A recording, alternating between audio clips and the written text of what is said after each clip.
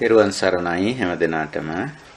අදත් අපි මේ එකතු වී සිටින්නේ අපේ සුපුරුදු භාවනා පුහුණුවට. ඒ කියන්නේ අපේ ධර්ම මාර්ගය අපි ඉදිරියට යද්දී නිර්වාණ ධර්මය සාක්ෂාත් කරද්දී ඊට අදාළ ක්‍රියාකාරකම් අපි ඒවට කමඨහන් කියලා කියනවා.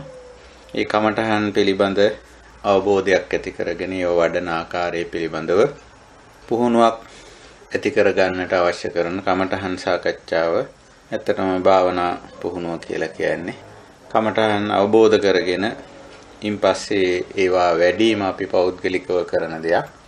ඉතින් අපි මේ විදියට මුණ ගැහිලා කරන්නේ එවැනි කමඨහන් සාකච්ඡාවක්. අකුසලයේ ගෙවීමට කුසලයේ වැඩිවීමට අදාළ ක්‍රියාකාරකම් තේරුම් ගැනීම ඒ සඳහා බුදුරජාණන් වහන්සේ අපිට මඟ පෙන්වීම කරලා තිබෙනවා. ඉතින් දේවල් තමයි අපි මේ මේ මාර්ගෝපදේශනේ නැත්තම් මාර්ග සත්‍යය තමයි අපි හුඟක්ම කමඨහන් හැටියට සාකච්ඡා කරේ. අදත් අපි ඒ සඳහා මේ එකතු වෙ සිටින්නේ සුපුරුදු මාධ්‍යයෙන් අන්තර්ජාලය ඔස්සේ Skype මාධ්‍යයෙන් ඒ වගේම සුපුරුදු වේලාවට උදෑසන 5:30ට ලංකාවේ වේලාවෙන් අපි මේ එකතු වෙ සිටින්නේ අද විවාහාර වර්ෂයෙන් 2022 වර්ෂයේ ජනවාරි මාසේ 19 වෙනි බදාදා දවසේ ශ්‍රී ලංකාවේ කැලෙන්ඩරයෙන්.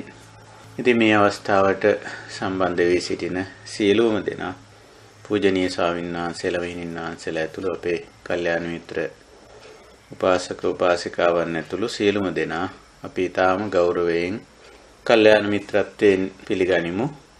එසේ පිළිගනිමින් අපි පළමු කොට මේ කාර්යය සඳහා කය මනස දෙක සංසුන් කරගමු, තැම්පත් කරගමු.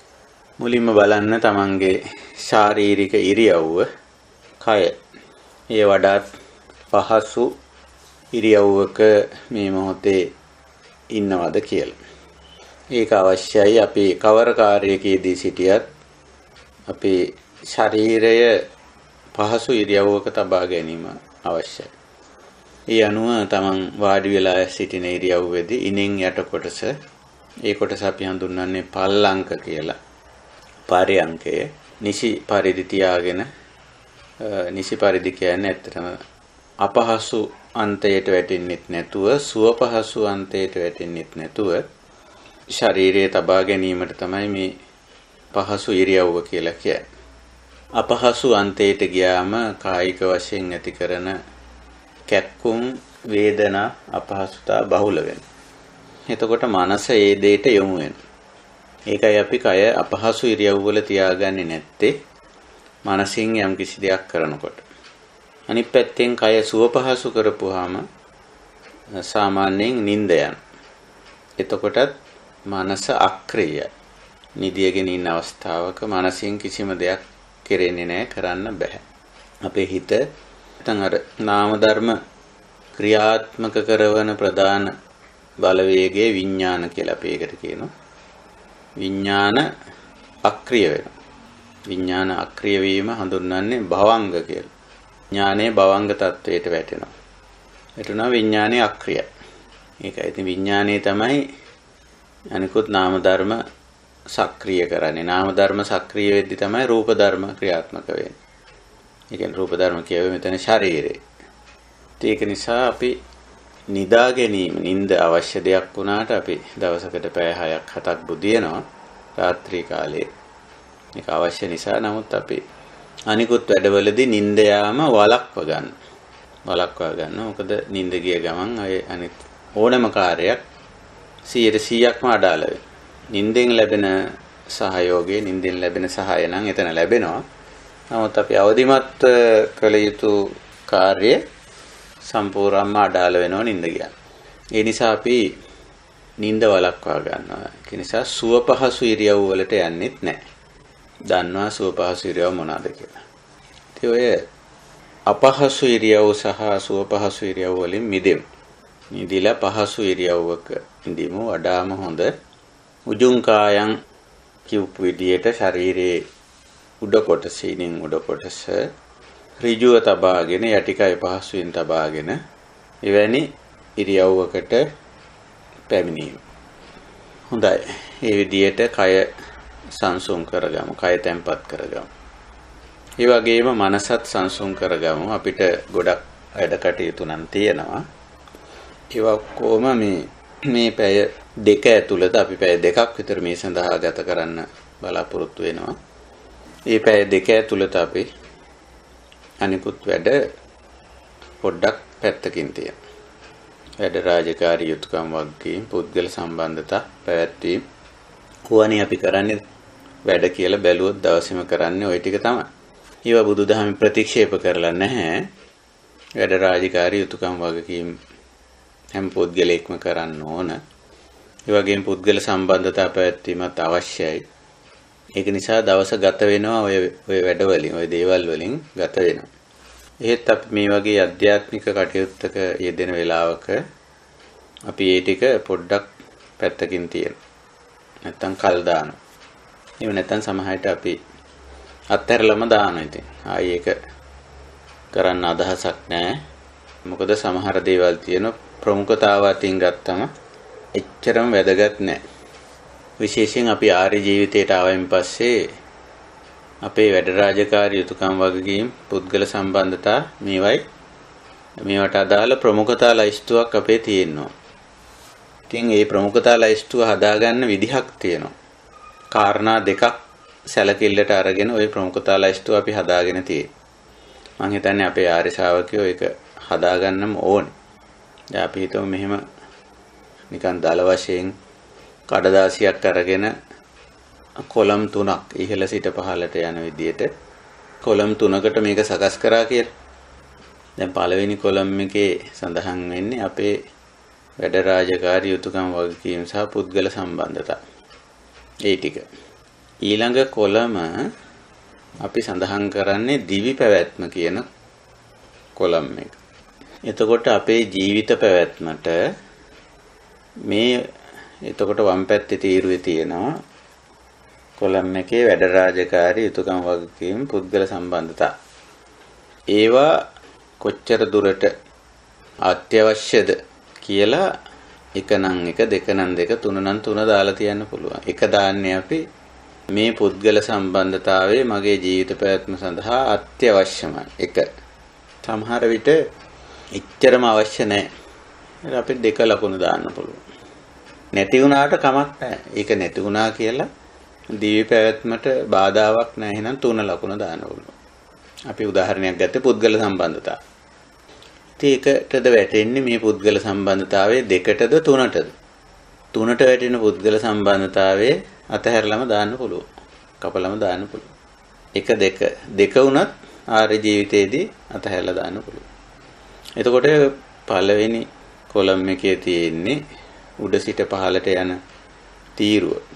ඒකේ තියෙන්නේ අපේ වැඩ රාජකාරී යුතුයකම් වගකීම් සහ පුද්ගල සම්බන්ධතා. දෙවෙනි කොලම් එකේ තියෙන්නේ දිවි පැවැත්මට කියන එකයි. තුන්වෙනි කොලම් එකේ ඊටම වැදගත් ඒකෙත් ලියවිලා තියෙන්න ඕන නිවනට උපකාරී වන කියලා. එතකොට අපි ඒකත් බලමු. දීපෑත්ම විතරක් නෙවෙයි අපේ නිවන් මාර්ගට උපකාරී වෙනවද මේ පුද්ගල සම්බන්ධතාවය? නැත්නම් ඒක බාධාවත්ද?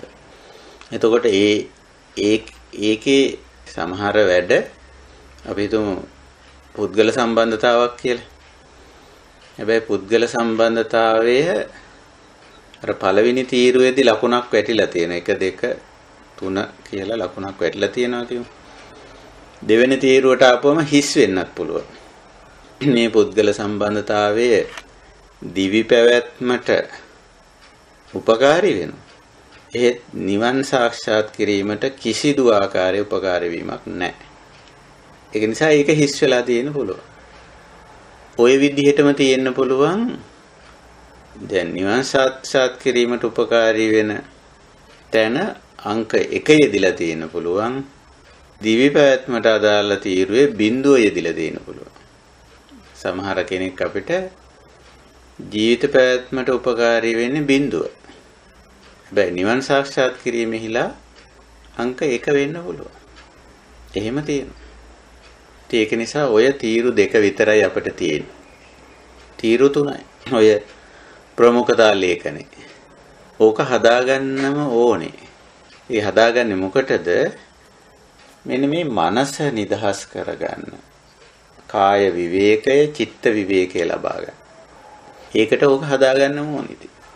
ඕක ලියාගෙන ඕක කොහොම එකක් හදලා බල. හරි වැදගත්. ඔක හොඳට ලියලා හදාගන්න පුළුවන්. ඒතර තමන් අපේ ජීවිතේ හරි පැහැදිලි අපි හරි සීමා සහිත කරගෙන ඉන්නේ වැඩ රාජකාරී යුතුයකම් වගේ පුද්ගල සම්බන්ධතා. සීමා සහිත කරන් ඉන්නේ.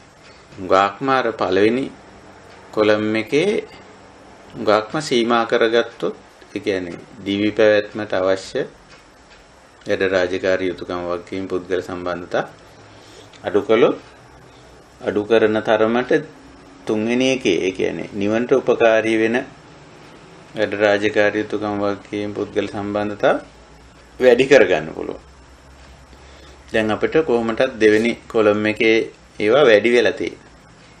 දෙවෙනි තීරුව. ඒ කියන්නේ දිවි පැවැත්මට අදාළ දේවල් වැඩි වෙලා තියෙනවා. හැබැයි ඒ තීරුව හිස් කරන්න බෑ කවදාවත්. බැරි නිසා තමයි ඒක බුදුරජාන් වහන්සේ නිවන් මාගෙත් තියලා තියෙන එහෙම.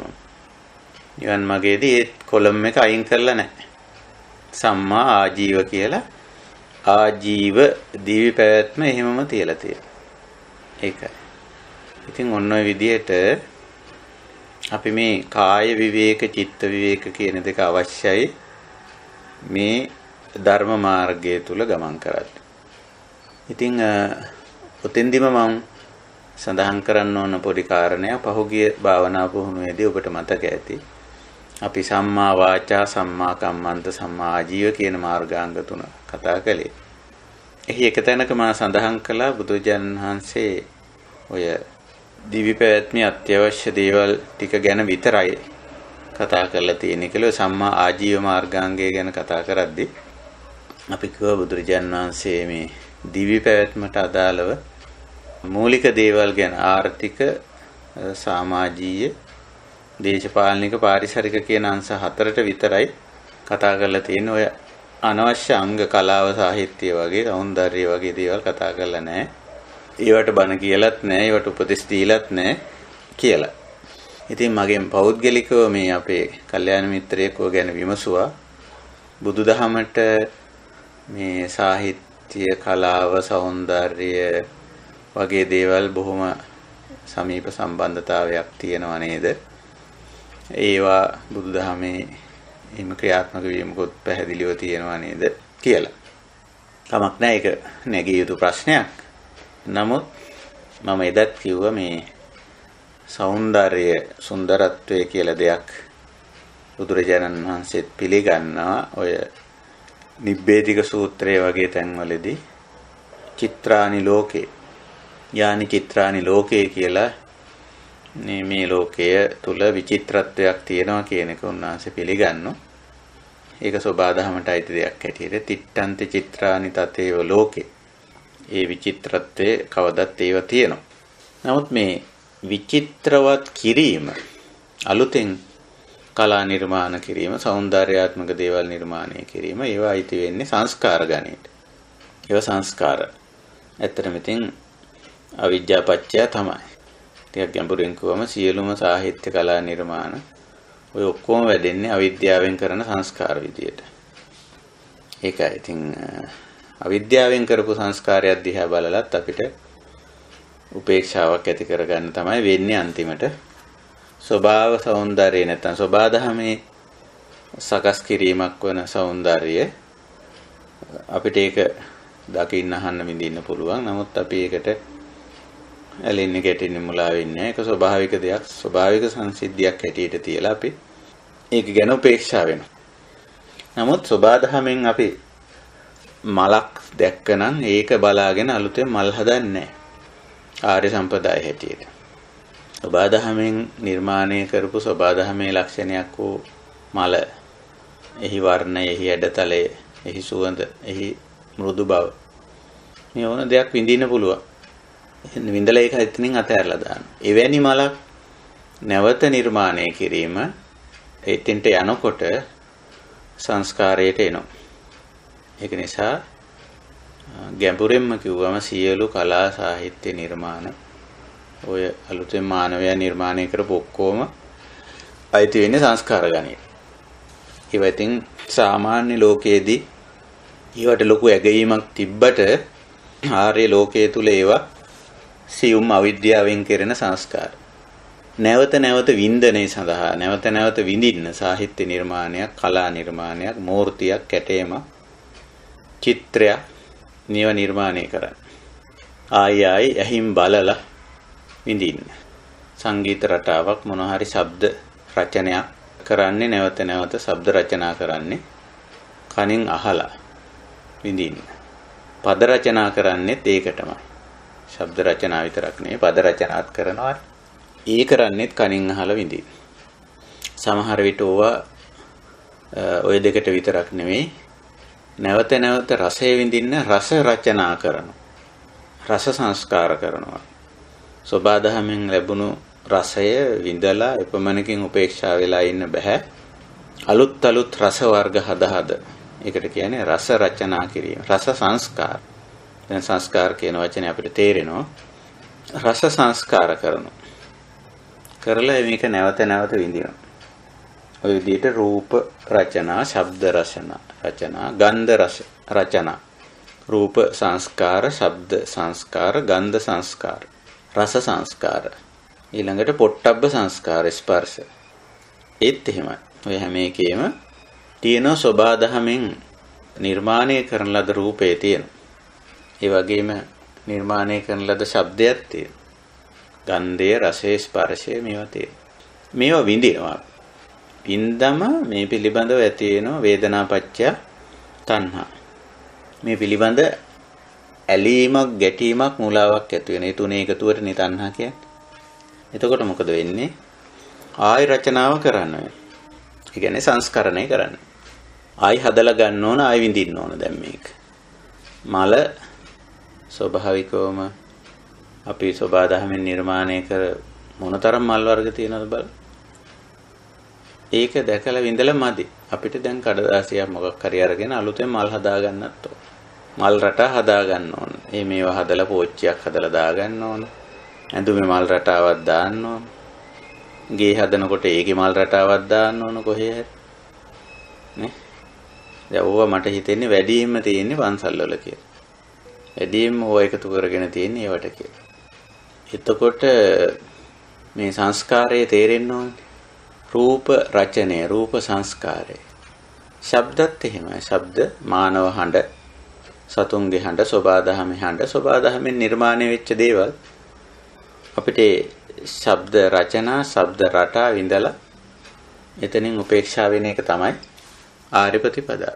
නමුත් මොකද කරන්නේ? නැවත ශබ්ද රචනා කරනවා. ශබ්ද සංස්කාර කරනවා. කර කර කර කර ආය විඳින ඉතින් ඕවට යද්දි මොකද වෙන්නේ? සංස්කාර ලෝකයක් හැදෙනවා. ඊට පස්සේ සංස්කාර උපාදාන කරගන්න.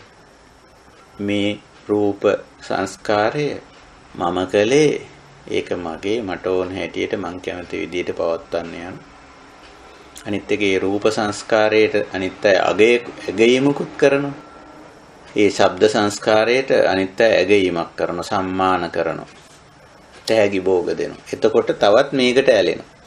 මුලා වෙනවා. තමන් තමන්ගේම සංස්කාරයට තමන් මුලා වෙනවා. මේ මම හදපු දේ මගේ ශබ්ද සංස්කාරය, ශබ්ද රචනය, මගේ රූප සංස්කාරය, රූප රචනය. ඉතින් මේ විදිහට තමයි දිගට දිගට මේ සංස්කාරාවලිය යන්නේ. ඔය ආකාරයට පංච ඉන්ද්‍රියටම අදාළ වෙන විදිහට මේ සංස්කාරාවලිය යන. එහෙම. රූප රචනයේ ශබ්ද රචනයේ, ගන්ධ රචනයේ, රස රචනයේ, ස්පර්ශ පොට්ටබ්බ රචනයේ. රූප සංස්කාර, ශබ්ද සංස්කාර, ගන්ධ සංස්කාර, රස සංස්කාර, ස්පර්ශ සංස්කාර. මනෝ සංකාරත් ඒත් එහෙම තමයි. මේවා දැන් මං හිතනවා අපේ මේ කල්යාණ මිත්‍රයන්ට දැන් මේවා අවබෝධ කරගන්න පුළුවන්. අවබෝධ කරගන්න පුළුවන්. ඉතින් බුදුරජාණන් වහන්සේ ඔය සංස්කාර කිරිල්ල අගය කරලා නැහැ. ඉතින් මගෙන් අර යෝගියා ඇහුවේ බුදුදහමට මේ సౌందර්යය බොහොම සම්බන්ධතාවයක් අපිට පේන්න තියෙනවා. හැම බෞද්ධ නිර්මාණයකම කලා මූර්ති කැටයම් වගේ දේවල් සකස් කරලා තියෙනවා. ඉතින් එහෙම ඇගීමක් නැත්තම් ඇයි මේවට සම්බන්ධ වෙන්නේ කියලා. ඉතින් ප්‍රශ්නේ සාධාරණ. නමුත් මුල් බුදු සමයේ මේවා සංස්කාර. පස්සේ මේවා ඉතින් කලාව සාහිත්‍ය මූර්ති කැටයම් චිත්‍ර වැනි රචනා සංස්කාර ඉතින් ඇවිල්ලා තියෙනවා. ඇවිල්ලා ඊට පස්සේ ඒවා උපාදාන කරගෙන අපි නේ අපේ ඔය ශ්‍රේෂ්ඨ කලා නිර්මාණ කියලා අපි ඔයට විශාල ඔය සංස්කාර වලට විශාල ඇගයීම් දීලා තියෙනවා. ඒවට අපි කියන්නේ ශ්‍රේෂ්ඨ කලා නිර්මාණ කියලා. එහෙමනේ කියන්නේ. ඒවට විශාල උපාදාන තියෙනවා. ඉතින් ශ්‍රේෂ්ඨතම කලා නිර්මාණය කියලා මොකද්ද කියලා ඇහුවොත් අපිට කියන්න පුළුවන් බුද්ධ ප්‍රතිමා වහන්සේ කියලා. නේ? ඔය ඔය මං කියන්නේ ඔය අර යෝගී අහපු විදියට බුදුදහමට සම්බන්ධ. ඇත්තට මේක රචනාව සංස්කාරයක්. බුද්ධ ප්‍රතිමාව බොහෝ වෙලාවට මානව හැඩයෙන් යුක්ත නැහැ. දල මානව හැඩයක් තිබ්බට එහි තියෙන අංගෝපාංග ඒවා රචනා කරන අයට හිතෙන දේවල්. බුදුහාමුදුරන්ගේ කන ওই විදිහේ කනක් තිබ්බේ නැහැ. බුද්ධ ප්‍රතිමාවක කන කන කරේ වදින විදියට කන නිර්මාණය කරලා තියෙනවා. එහෙම එකක් තිබෙන්නේ එහෙම නැහැනේ කන් මිනිස්යන්ගේ. ඉතින් ඕවට එක එක සංකල්පීය රචනා තියෙනවා. ඒ කන එහෙම හිස මොදුනේ මෙහෙම ඉස්සිලා තියෙන්නේ. ඕස්නීච ලක්ෂණේ. හ්ම්. ඒවට නොඑක් රචනා තියෙනවා. නොඑක් සංකල්ප තියෙනවා. ඒව නිර්මාණය කරනවා. නිර්මාණය කරලා අන්තිමට ඒවට උපාදාන වෙනවා. උපාදාන වුණාම මොකද වෙන්නේ? ඒවා අපේ. ඒවා අපේ බෞද්ධ අපේ උරුමය අපේ දේවල් කියලා ඒවට උපාදාන වෙලා ඉතින් එතන ඉඳලා තව ගොඩාක් වැඩ තියෙනවා අපි. අන්න අර ප්‍රමුඛතා ලයිස්තුවට ආයිමත් හිත යොමු කරොත් ප්‍රමුඛතා ලයිස්තුවේ පිටපයින්නවා. දැන් රචනාව යන්නේ කොයි පැත්තේද? දැන් යන්නේ සම්පූර්ණ ලෞකික පැත්ත. සාහිත්‍ය කලා නිර්මාණ ආරෝමය. ඔය අතරේ දිවි පැවැත්මට අවශ්‍ය රචනා අලුතෙන් සංස්කරණ අර පැත්තේ තමයි යන්නේ. අධ්‍යාත්මික ගමන මේකෙන් සම්පූර්ණ වෙහිලා යනවා. ඒක නිසා ඔය කාරණේ ඔය සංස්කාර ක්‍රියාවලිය තෝර බේර ගැනීමත් ලේසි නෑ. අපි සංස්කාර ගැන කතා කරනකොට ඒක ගැන අවිද්‍යා පත්‍ය සංඛාරා කියන තැන තමයි හරියටම තේරුම් ගන්න අවශ්‍ය කරන්නේ. අවිද්‍යාව නිසා තියෙන මේ සංස්කාරාවලිය සංකාර නිරෝධෝ කියන තැන තියෙන නිරෝධ සත්‍ය චතුසත්‍යයෙන් සංකාර නිරෝධයි තියෙන්නේ නිරෝධ සත්‍ය. අවිද්‍යා පත්‍ය සංඛාරා කියන ඒක අයිති වෙන්නේ සමුදය සත්‍ය. එහෙමයි. ඉතින් අපි ඕක තේරුම් බේරුම් කරගන්න ඕන. අපි අර ප්‍රමුඛතා ලයිස්තුවේ ලෞකික පැත්තේ වැඩ රාජකාරි යුතුයකම් වගකීම් පුද්ගල සම්බන්ධතා බහුල වුණොත් අර පැත්ත අඩාල වෙනවා. අධ්‍යාත්මික දියුණුවට එහෙම නැත්නම් නිවනට උපකාරී වන කියන කොලම් එකේ ඒක හිස් වෙන්න පුළුවන්. ඒක නිසා අපි මේ පැත්ත වඩා වැඩි බරක් මේ පැත්තට තියෙනවා. නමුත් මේ දෙවනි තීරුව කියන්නේ දිවි පැවැත්මට අදාළ තීරුව අපිට හිස් කරන්න බෑ. හිස් කරන්න බෑ. ජීවිත පැවැත්ම අත්‍යවශ්‍ය නිසායි සම්මා ආජීව කියලා මාර්ගාංගයකොත් ඇතුළත් වෙලා තියෙන්නේ. හොඳයි මම ඔය කතා කළේ ඇත්තටම මේ ආර්ය ජීවිතයේ ඇතුලේ මේ බණ භාවනා කරන අපි කොහොමද විවේකය හදාගන්නේ? කොහොමද වේලාව හදාගන්නේ? කොහොමද අවස්ථාව හදාගන්නේ? කාය විවේකයක්, චිත්ත විවේකයක් ගොඩනගාගන්නේ කොහොමද? හුඟක් අයගේ අපිට බෑ බෑ නැහැ අපිට වෙලාවක් නැහැ ඉඩ නැහැ. කොහොමද මේවා කරන්නේ අපිට කොච්චර වැඩ තියෙනවද? එහෙම කතා වෙනවා හුඟක් වෙලාවට. ඉතින් ඒක මතු පිටින් බලපුවම සාධාරණයි කියලා අපිට හිතෙනවා. සාධාරණයි කියලා හිතෙනවා. නමුත් මේ ආර්ය අෂ්ටාංගික මාර්ගයේ තියෙනවා විශේෂ මාර්ගාංගයක් සම්මා වායාම කියලා. දැන් අද ඉඳලා අපි කතා කරන්නේ ඒ අංග තුන සම්මා වායාම සම්මා සති සම්මා සමාධි. අපි දැන් මේ භාවනා පුහුණුවේ ඉන්නේ මාර්ගාංගවල. ඒක නිසා අපි බලමු ඒ කමටහනට ගිහිල්ලා හොඳයි. ඉතින් භාවනාවේ මුලටම අපි ගන්න සීලයනේ. ඒක නිසා සීල කමඨහන අපි නැවත මතක් කරගෙන සිහි කරගෙන සිහි කැඳවාගෙන සීල අනුස්සතිය කරලා අපි දෙවනුව ඒ මාර්ගාංග වලට අවධානය යොමු කරමු. එතකොට සීල සමාධි ප්‍රඥා වැඩිවනේ භාවනා කියන්නේ. ප්‍රඥා භාවනා සමාධි භාවනා සීල භාවනා. සීලය අපි කතා කරලා තියෙන ඒක ආරක්ෂක වැට.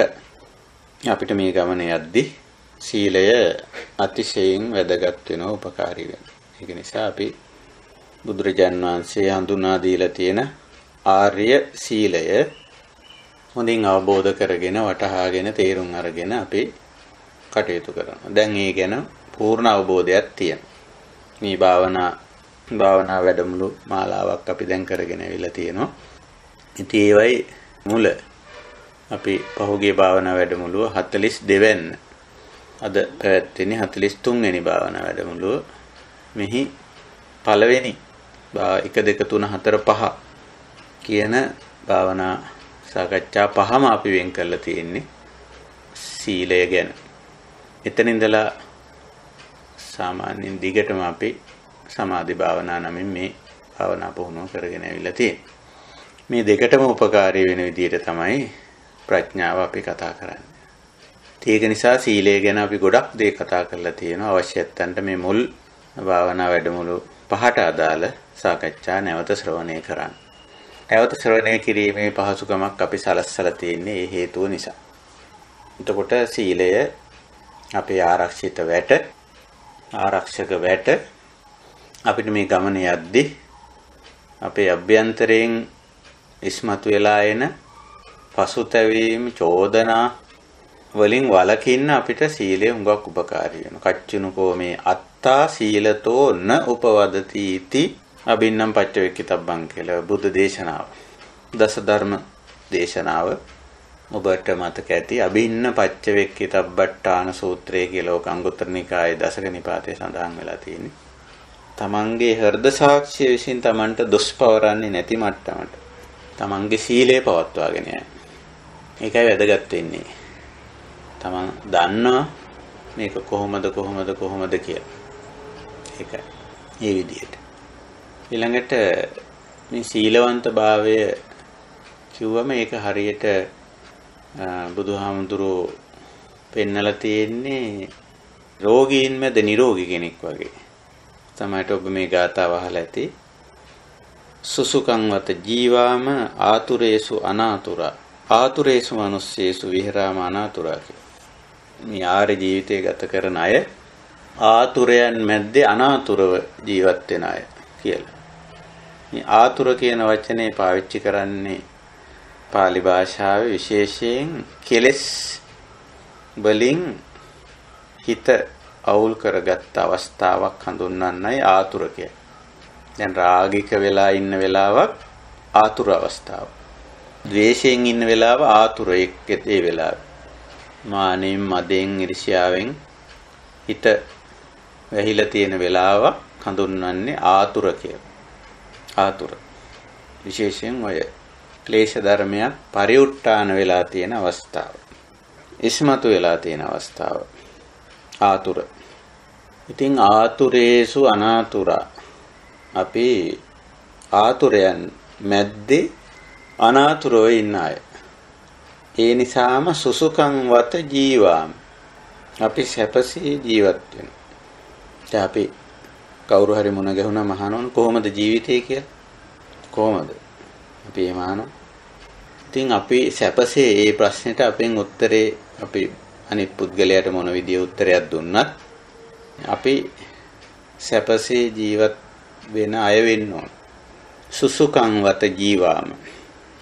අපි සැපෙන් ජීවත් වෙන අය වෙන්න ඕන. සැපසේ ජීවත් වෙනවා කියලා කියන්නේ යාන වාහන ගෙවල් දොරවල් ඉඩකඩම් ලොකුවට තියාගෙන ලොකු තනතුරු තියාගෙන රටේ ප්‍රසිද්ධ වෙලා.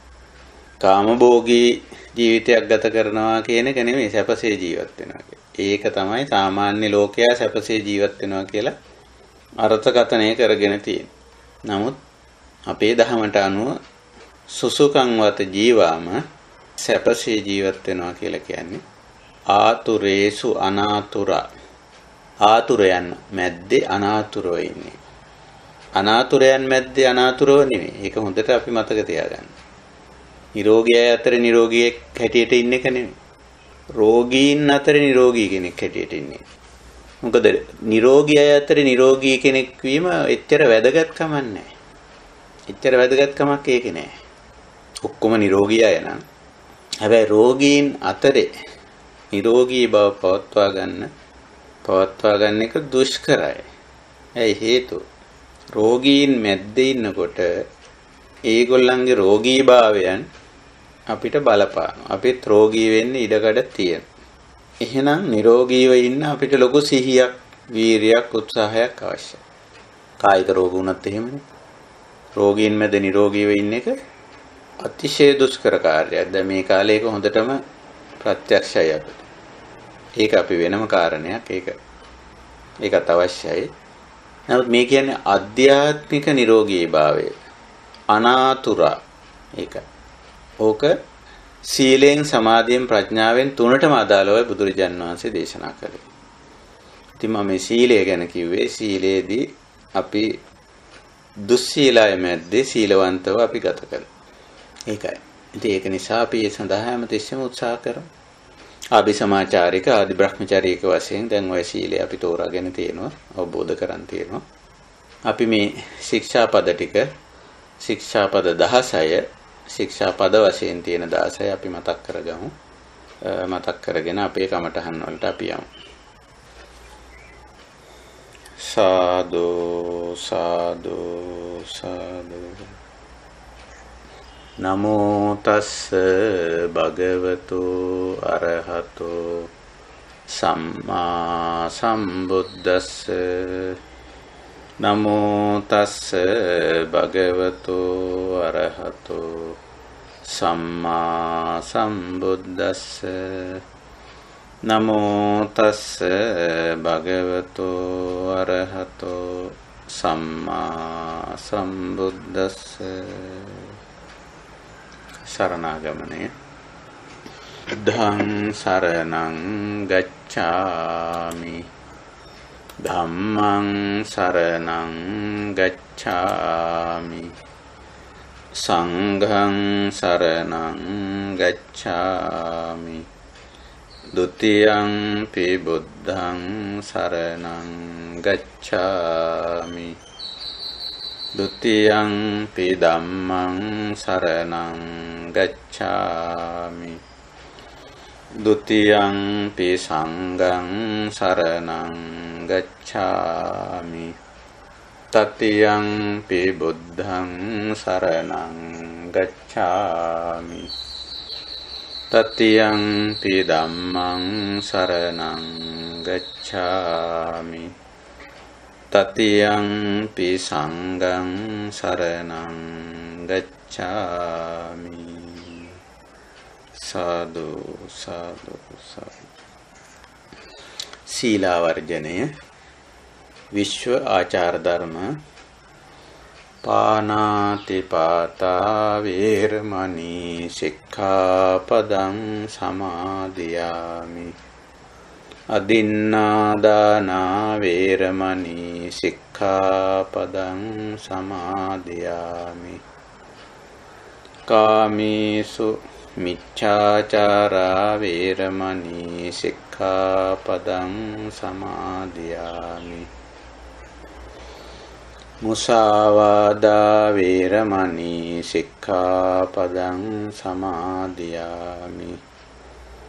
පිසුනා වාචා වේරමණී සික්ඛාපදං සමාදියාමි. පරුසා වාචා වේරමණී සික්ඛාපදං සමාදියාමි. සංපප්පලාපා වේරමණී සික්ඛාපදං සමාදියාමි. මිච්ඡා ආජීවා වේරමණී සික්ඛාපදං සමාදියාමි සුරාමීරය මජ්ජපමාදට්ටානා වේරමණී සික්ඛාපදං සමාදියාමි නික්කම ශික්ෂා අබ්‍රහ්මචර්යා වේරමණී සික්ඛාපදං සමාදියාමි. විකාල භෝජනා වේරමණී සික්ඛාපදං සමාදියාමි. නච්ච ගීතවාදිත විසූක දස්සනා වේරමණී සික්ඛාපදං සමාදියාමි. මාලා ගන්ධ විලේපන ධාරණ මණ්ඩන විභූෂණට්ටානා වේරමණී සික්ඛාපදං සමාදියාමි.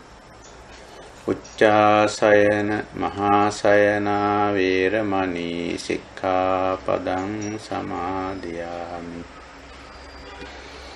ජාත රූප රජත පටිග්ගහනා වේරමණී සික්ඛාපදං සමාදියාමි. මිත්තා විහෙරණං සමාදියාමි. සාදු සාදු සාදු. දැයි අපි අපේ භාවනාවේ සීල භාවනා කොටසට අයිති කමටහන් ඔය මතක් කරගත්තා අපි සීලවන්තව ජීවත් වීම තුල කියන්නේ අර අනාතුර භාවය තමයි. ආතුරේසු අනාතුර. අනිත් අය දුරාචාරයන්ට, දුෂ්චරිතයන්ට, දුස්සීල භාවයන්ට වැටිලා ඉන්න අතරේ අපි අපේ සීලවන්ත භාවය උපරිමෙන් පවත්ව ගන්න. හැබැයි ඒකෙන් අර තව කෙනෙක් අවමානයට අපහාසයට ලක් කිරීමක් හෝ තමන් ඔසවා තැබීමක් තමන් හුවා දැක්වීමක් වගේ දෙයකට යන්නේ නෑ. අපි ආතුරයෝ මැද්දේ අනාතුරව ඉන්නවා කියන එකෙන් අදහස් කරන්නේ අපේ ජීවිතයේ වටිනාකමක් ගොඩනගා ගන්නවා මිසක අපි මේ කැපී පේන්න විශේෂ පුද්ගලයෙක් වෙන්න උත්සාහ කිරීමක් නෙමෙයි. විශේෂයෙන්ම මේ ආර්ය මාර්ගය තුල විශේෂ පුද්ගලයෙක් වෙන්නෙම නැහැ. රහතන් වහන්සේ කෙනෙක් වෙනකොට කිසිම විශේෂත්වයක් නැති පුද්ගලයෙක් බවට පත් වෙනවා. ආතන් වහන්සේ කෙනෙක් කියලා කියන්නේ කිසිදු විශේෂත්වයක් නැති පුද්ගලයෙක්. ඒක නිසා බුදුහාමුදුරු රහතන් වහන්සේ ඇඳින්නේ අඤ්‍යතරෝ කියලා. අඤ්‍යතරයෙක් වෙනවා කියලා. එහෙනම් තවත් නිකන් එක්කෙනෙක් විතර. ඔතෙන්ට එනකන් තමයි අපි විශේෂ පුද්ගලයෝ වෙන්නේ. රූපකායෙන් විශේෂ වෙන්න බලන අනිත් එක්කෙනාට වඩා විශේෂත්වයක් රූපකායෙන් පවත්ව ගන්න. දැනුමෙන් අවබෝධයෙන් හැකියාවලින් දක්ෂතාවලින් සමාජ තත්වයෙන් ධනයෙන් බලයෙන් කීර්තියෙන් චරිතවලින් විශේෂය බවට පත් වෙන්න හැමතිස්සෙම දඟල. ඒකට බලපාන්නේ මානය කියන මනෝභාවය. ඉතින් අපි සීලය ගන්න එහෙම විශේෂ කෙනෙක් වෙන්න නෙමෙයි. අනිත් අයට වඩා මම සිල්වත්, මම ගුණවත්, මම නිවැරදි. එහෙම කියලා තමන් හුවා දක්වන්න Tamanට විශේෂ වරප්‍රසාදයක් ලබා ගන්න. මේ වගේ දෙයකට නෙමෙයි. මේක තමයි ආර්ය ජීවිතේ. ආතුරයෝ මැද අනාතුරයෝ ඉන්නේ. දුස්සීලයෝ මැද සීලවන්තව ඉන්නේ. ඒක හරි ශ්‍රේෂ්ඨයි. අධ්‍යාත්මික ගමන. ඒ සඳහා අපි උපරිම උත්සාහ කරමු. ඔහොමයි ඔය සීල භාවනාව. ඊළඟට අපි මේ සමාධි භාවනාවට අදාළ කමටහන් තමයි කතා බහ කරගෙන යන්නේ. විශේෂයෙන්ම ආර්ය අෂ්ටාංගික මාර්ගය අපි දැන් කතා කරගෙන යන්නේ. එතෙන්ට අපි ඇවිල්ලා තියෙන්නේ සතිපට්ඨාන භාවනා ක්‍රමය ඇතුළේ. සතිපට්ඨාන භාවනා ක්‍රමය අපි දන්නවා ආරම්භ වෙන්නේ මූලික කුසලතා තුනකින් සතිමා සම්පජානෝ ආතාපි වශයෙන් සිහියත් එක් සෝදිසිමත් බව ඇත්තෙක් ඒ කියන්නේ විමසුම් නුවණ ඇත්තෙක් ඒ වගේම අවංක උත්සාහය ඇත්තෙක් ආතාපි. ඔය කුසලතා තුන තමයි නිවන් මාගේ ආරම්භක කුසලතා. සතිපට්ඨානය පටන් ගන්න ඔහොමයි. සතිපට්ඨාන කියන්නේ ඔය තුන පවත්වගෙන යනවා ඒ තුනත් ක්‍රමයෙන් ක්‍රමයෙන් දියුණු වෙනවා. දැන් සතිය ලෞකික දේට පිළිබඳව තියෙන සතියේ සිට අධ්‍යාත්මික පැත්තට සතිය හරව ගන්නත් ඕන. එතකොට තමයි ඒක බොජ්ජංග සතියක් වෙන්නේ. සති සම්බොජ්ජංගං බවට පත් වෙන්නේ. නැත්නම් අපිට ලෞකික දෙයටත් සිහිය තියාගන්න පුළුවන්. සිහිය හොඳට දියුණු කරගත්තම මේ ලෞකික දෙයට හොඳට සතිමත් වෙන්න පුළුවන්. එතකොට ලෞකික පැත්තේ වැඩ හුඟක් සාර්ථක වෙනවා. නමුත් සතිය සාවධාන බව, අවදිමත් බව අපි හැමතිස්සෙම තියාගන්නවා. අධ්‍යාත්මික ගුණාංග වලට ಗುಣ වගාවට කුසලයේ වැඩිවීමට නිවන පැත්තට සිහිය යොමු කරගන්න. සති සම්බොජ්ජංගම් භාවේති. ඊළඟට ඔය සම්පජානකාරී හෝති කියන දෙවෙනි ගුණාංගය විමසිලිමත් බව සෝදිසිමත් බව. ඒකත් අපිට ලෞකික පැත්තට තියාගන්න පුළුවන්. ඒක එහෙම ඒ පැත්තට තියාගන්නත් පුළුවන්. එහෙමනේ. ඉතින් මේ පැත්තට තියාගත්තොත් ඉතින් ලෞකික පැත්තේ යහපතක් වෙනවා ඒකෙන් නැතුව නෙමෙයි. නමුත් ඒකත් අපි දැන් තියාගන්නේ මේ ආධ්‍යාත්මික දියුණුව පැත්තට. ඒ එහෙම හැරෙව්වම මේක හඳුන්වන්නේ ධම්ම විචය කියලා. ධම්ම විචේ සම්පොජ්ජංගම් භාවේති විවේක නිස්සිතං විරාග නිස්සිතං නිරෝධ නිස්සිතං ඔස්සග්ග පරිණාමින් කියලා ඔය සඳහන් කරලා තියෙන අන්නේ කාරණේ ඊළඟට ආතාපි අවංක උත්සාහය අවංක උත්සාහය ලෞකික පැත්තට තියන්නත් පුළුවන් ලෞකික පැත්තේ අවංක උත්සාහය තිබ්බම ලෞකික පැත්තේ බොහොම යහපත් කීර්තිමත් අය වෙනවා. ඒ වගේම අනිත් අයගේ ගෞරවය ආදරයට ලක් වෙනවා. ලෞකික පැත්ත දියුණු වෙලා යනවා. ඒක අවශ්‍යයි ලෞකික වැඩ කරද්දී අවංක අවංක උත්සාහය තියෙන කෙනෙක්. හැබැයි ඒක දැන් අපි අධ්‍යාත්මික පැත්තට ගෙනියද්දී අවංක උත්සාහය මොකක් සඳහාද? අවංක උත්සාහය මොකක් සඳහාද? හතරකටනේ කෙලස් කුසල් අකුසල් වලට අදාළව මේ පැත්තට යොදාගන්නේ අවංක උත්සාහය අකුසල් ගෙවන්න කුසල් වඩන්න එතෙන්දි හඳුන්වනවා විරිය සම්බොජ්ජංගම් කියලා. මේ පැත්තට හැරෙව්වොත්. ලෞකික පැත්තට හරවලා තියෙනකොට අවංක උත්සාහය බෝධිඅංගයක් වෙන්නේ නැහැ. ලෞකික සාර්ථකත්වය ලැබෙන්න පුළුවන්. ඒකෙන් නිවනක් ලැබෙන්නේ නිවන් සාක්ෂාත් කරන්න උපකාරක ධර්මයක් බෝධිඅංගයක් වෙන්නේ ඒක නිසා විරිය සම්බොජ්ජංග ධම්මවිචේ සම්බොජ්ජංග සති සම්බොජ්ජංග මේ විදිහට ඉතින් ඔය මූලික අංග තුන තමයි මේ ධර්ම මාර්ගයේ ඉස්සරහට යන්න උපකාරී වෙන්නේ. ඉතින් ඒ තුන ක්‍රමයෙන් ක්‍රමයෙන් දියුණු කරගෙන යන්න. ඒක දියුණු වෙනවා අපි මේ දියුණු වෙන ආකාරයට කමඨහන් දේශනා වෙලා තියෙනවා. ඔය සතිපට්ඨාන දේශනාවේ අපි ඒව කතා බහ කරගෙන ඇවිල්ලා තියෙන්නේ දිගට. කායානුපස්සනා, වේදනානුපස්සනා, චිත්තානුපස්සනා, ධම්මානුපස්සනා වශයෙන් මේ අනුපස්සනා හතරම අපි කතා කරලා තියෙනවා. දැන් අපි ඉන්නේ ධම්මානුපස්සනාවේ සත්‍යපබ්බේ අගම කොටසේ මාර්ග සත්‍ය දුක්ඛ නිරෝධ ගාමිනී පටිපදා අරිය සත්‍ය කියලා මාර්ග සත්‍ය හඳුන්වනවා. එහෙම නැත්නම් අරියෝ අට්ටාංගිකෝ මග්ගෝ කියලා හඳුන්වලා තියෙනවා. සමහර තැන්වල මජ්ක්‍ධිමා පටිපදා කියලා සඳහන් වෙලා තියෙනවා. මධ්‍යම ප්‍රතිපදාව මැදමාවත වශයෙන්. ඉතින් අපි ඔය පිළිබඳව සාකච්ඡා දෙකක් කලින් අවස්ථාවල අපි කතා බහ කරා හමු වුණු අවස්ථාවල ඊට පෙර සාකච්ඡා දෙක අපි තුන්වෙනි දයක සාකච්ඡාවකුත් 12 වෙනි දයක සාකච්ඡාවකුත් කළා මේ මාසෙ 12 වෙනි දයින් පස්සේ අපි 14 මුණ ගැහුණා නමුත් 17 අපි මුණ ගැහුන්නේ අද 19 ඉතින් අදත් අපි දුක්ඛ නිරෝධ ගාමිනී පටිපදාාරිය සත්‍ය තමයි කතා කරන්නේ අද ඉතිරි මාර්ගාංග තුනට අවධානය යොමු කරලා බලමු. ඔතනින් ඔය සමාධි කියන ශික්ෂාවට අදාළව සම්මා වායාම, සම්මා සති, සම්මා සමාධි කියන මාර්ගාංග තුන දේශනා වෙලා තියෙනවා. එතකොට අපි මේ සම්මා වායාම කියන මාර්ගාංගයට තමයි අද අවධානය යොමු කරන්නේ.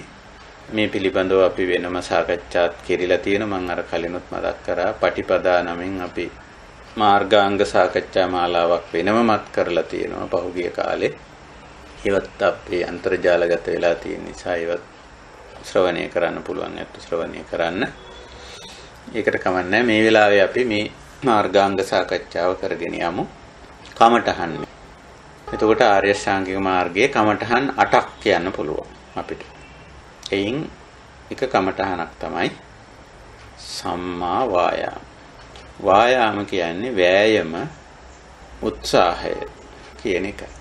යම්කිසි දෙයකට දරන උත්සාහය, යම්කිසි කාර්යයක් සඳහා දරන වෑයම. ඒකයි වායාම එතකොට වායාමයේ තියෙන ලෞකික පැත්තක්. මේ වෑයම් කිරීම, උත්සාහ කිරීම ලෞකික සාර්ථකත්වයන් වර්ධනය කරගන්න. ලෞකික අසාර්ථකත්වයන් දුරු කරගන්න. අපි යොදනවා. ඒක බොහෝ වෙලාවට අපි නොකියුවත් කරනවා. ලෞකික පැත්තේ අපේ ජීවන පැවැත්මට අදාළව ඒ වෑයමේ තමයි හැමෝම නිරත වෙලා ඉන්නේ සාමාන්‍යයෙන් බැලුවොත්. මිල මුදල් හරි හම්බ කරගන්න ජීවිතේ සාර්ථක කරගන්න තවත් නොඑක් ද්‍රව්‍ය භාණ්ඩ වස්තු එක් රැස් කරගන්න ගොඩනගා ගන්න භාණ්ඩ හා සේවා ලබා ගන්න තමන්ගේ කායික සෞඛ්‍ය සනීප ආරක්ෂාව පවත්වා ගන්න මේ වගේ දේවල් වලට ලොකු වෑයමක් අපි ඉන්නවා. ඉතින් ඒ වෑයම ප්‍රතික්ෂේප කරන්නේ බුදුදහම. ජීවිතයේ පවත්වා ගැනීම සම්බන්ධයෙන් ගත්තම ඒ වෑයම අවශ්‍යයි. ජීවිත පැවැත්ම සම්බන්ධයෙන් ගත්තම. ඒ වෑයමත් අපි තියාගෙන සම්මා වායාම විරිය සම්බොජ්ජංග කියන පැත්තට ගියාම තියෙන්නේ ටිකක් වෙනස් කාරණයක්. උත්සාහයම තමයි. නමුත් ඒකේ වෙනසක් අපිට පේන්න තියෙනවා. ඔය සම්මා වායාම කියන මාර්ගාංගයේ විස්තර කරලා තියෙන ආකාරය මම හිතන්නේ කවුරුත් දන්නවා. ඒක මතක ඇති ඔබට. කතමාච භික්කවේ සම්මා වායාමෝ. බුදුරජාණන් වහන්සේම ඔය මාර්ගාංගේ විස්තර කරලා තියෙන ආකාරය. ශ්‍රාවකයිනි භික්කවේ ශ්‍රාවකයිනි කතමෝච කුමක්ද සම්මා වායාම. සම්මා වායාම. යහපත් උත්සාහය කියන්නේ මොකද්ද? ඉතින් විස්තර කරනවා. ඉද භික්කවේ භික්ඛු අනුප්පන්නානං අකුසලානං ධම්මානං අනුප්පාදාය චන්දං ජනේති වායමති විරියං ආරභති චිත්තං පග්ගණ්ණාති පදහති. දැඩි කරගන්න හිත උත්සාහවන්ත වෙනවා වීරියවන්ත වෙනවා. අවංක උත්සාහයක් දරනවා යම්කිසි අකුසලයක් උපදින්න තියෙන අවස්ථාවේ ඒක නූපදවමි කටයුතු කරා. පවක් අකුසලයක් අයහපතක් වැරදි කායික හැසිරීමක්, වැරදි වචන භාවිතයක්, වැරදි සිතුම් පැතුම් රටාවකට ඉඩකඩ සැලසීලා තියෙන වෙලාවක අවස්ථාව යෙදිලා තියෙන වෙලාවක අවංකව උත්සාහ කරන එකෙන් මිදී සිටින්. ඉතින් ඕක ලෞකික පැත්තේදී නම් ඕක එච්චර අගය කරන්නේ සමහර වෙලාවට. ලෞකික දෙයක් අත්පත් කරගන්න, භුක්ති විඳින්න යෙදිලා තියෙන අවස්ථාවක ඒකට අත්පත් කරගන්න භුක්ති විඳින්න යොමු වීමමයි අගය කරන්නේ. මේ මේ දෙකේ ඒක ඒක තමයි තියෙන පරස්පරය. මේකෙදි යන්නේ අනුප්පන්නාන අනුප්පාදාය. මේ නූපන් දේ නූපදවන්නටමයි. නූපන් අකුසලේ නූපදවන්නටමයි මේකේ උත්සාහය, මේකේ වෑයම, මේකේ වීරිය. ඉතින් ඒක තමයි අපි සම්මා වායාම. මේක අපි සාමාන්‍ය ජීවිතේ දැන් අපි මේ කතා කරන්නේ කමටහන්නේ. ඒතර මේ කමටහන් කොහේ හරි විවේක තැනකට ගිහිල්ලා පරයන්කෙන් ඉඳගෙන ඇත් එක පියාගෙන වාඩි වෙලා වඩනේව නෙමෙයි. එහෙම ඒවා නෙමෙයි මේ. අපි එදිනදා ජීවිතයේදී ওই මූලික ත්‍රිවිධ ක්‍රියාකාරකම් කායික වාචික මානසික ක්‍රියාකාරකම් කරද්දි තමයි. එදිනදා ජීවිතය තුළ අපි කායික වශයෙන් වැඩ කටයුතු කරද්දී අවස්ථාව එළඹෙනවා මේකට මොකටද අකුසලයට අවස්ථාව එළඹෙනවා. අකුසල කාය කර්මයට අවස්ථාව සැලසිලා තියෙනවා. අකුසල කාය කර්මය කියන එක දැන් පැහැදිලිනේ. ඔව හරි පැහැදිලි බුදුරජාණන් වහන්සේව දේශනා කළා තියෙනවා.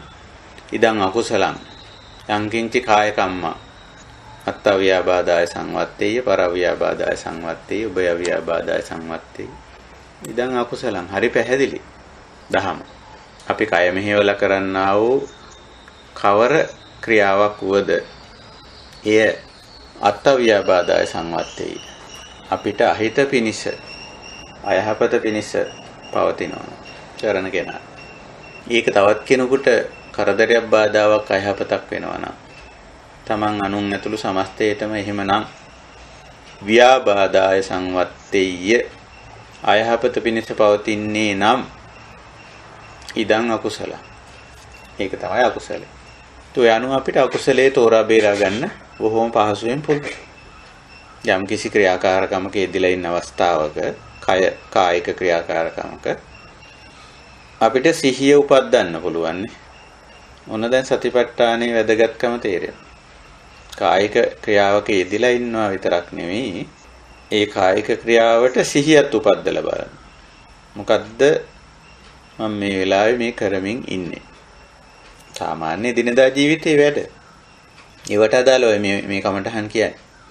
දිනදා ජීවිතේ මොනවා හරි වැඩ කියදෙමින් ඉන්න වෙලාවේ කය මෙහෙवला කායික ක්‍රියාවක යෙදලා ඉන්න වෙලාවක ඒ පිළිබඳ සිහිය උපද්ද ගන්න. දැන් මම කුමක්ද කරමින් ඉන්නේ? ඊළඟට සෝදිසිමත් භාවය ඇති කරගන්න. දැන් මම කරමින් ඉන්න මේ ක්‍රියාව කුසලයක්ද අකුසලයක්ද? මට අහිත පිනිස පවතිනවා. අනිත් එක්කෙනාට අහිත පිනිස පවතිනවා. මමත් අනිකත් ඇතුළු සමස්තයටම අහිත පිනිස පවතිනවද කියලා සෝදිසිමත් වෙලා බලන්න. සම්පජානකාරී ධම්මවිචය එහෙම බලද්දී යම් විදිහකින් තේරුණොත් ඉදම් මේ කාය කම්මං අත්ත ව්‍යාබාදාය පර ව්‍යාබාදාය උභය ව්‍යාබාදාය සංවත්තෙය්‍ය එහෙම අහිත පිනිස පවතින ක්‍රියාවක මම මේ යෙදිලා ඉන්නේ කියලා බුදුරජාණන් වහන්සේ ඒකට උපදේශය දෙනවා. ඒක හකුල ගන්න කියන. ඒක නතර කරගන්න. ඒකෙන් බැහැර වෙන්න, අයින් වෙන්න, ඉවත් වෙන්න.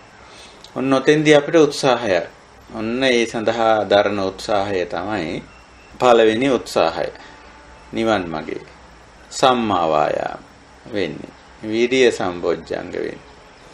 අර අකුසලයක් හටගන්න තියෙන වටපිටාවකට තමන් ඇවිල්ලා ඉන්නේ. කායික ක්‍රියාවක යෙදෙමින් ඉන්නේ, වචනයක් කතා කරමින් ඉන්නේ.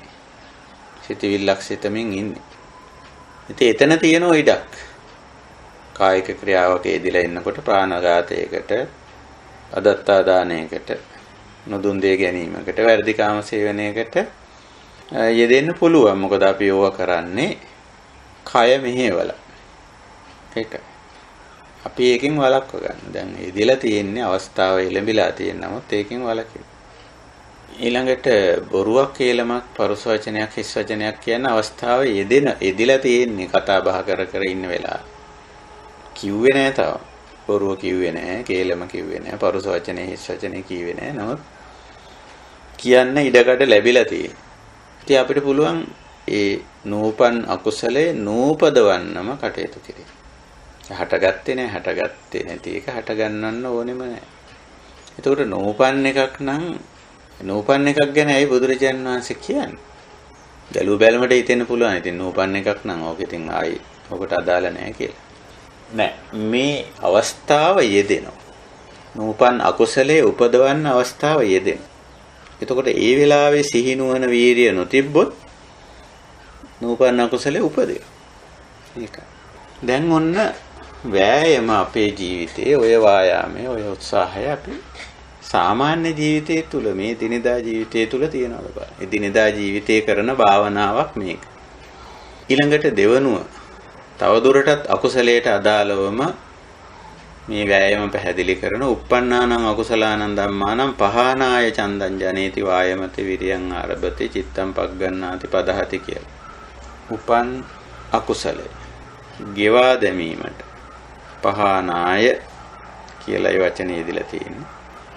ගිවා දැමීමට අර විදිහටම හිත දැඩි කරගෙන කය මෙහෙवला ඒකෙන් ගැලවෙන මිදෙන ඉවත් වෙනවා අයින් වෙනවා දුරු කරනවා.